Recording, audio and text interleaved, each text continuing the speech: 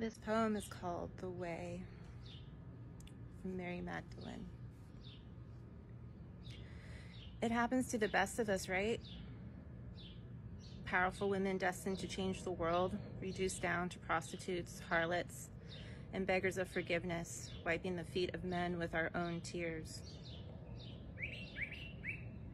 This is for the women who were told they are broken. This is for the women who were told their skin and bodies are repulsive. This is for the women talked about behind their backs. This is for the women told they solve all their problems by opening their legs. This is for the women whose reclamation of their feminine essence and power is reduced down to a, a desperate plea for the male gaze.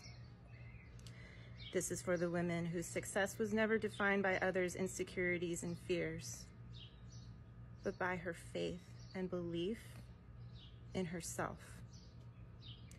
This is for the women who chose kindness, generosity, and love when they had every right to become bitter, spiteful, and vindictive, and society would have supported them in it. This is for the women who traverse the darkness, who sit with it and in it, who befriend it and talk to it, who allow it to purify their very being, who ignite their pure hearts ablaze and shine unapologetically.